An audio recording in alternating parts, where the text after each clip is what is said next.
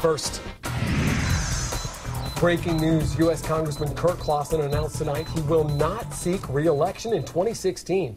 He says he wants to spend more time with his family. His mom passed away earlier this year. The Republican lawmaker only served one full term representing Southwest Florida.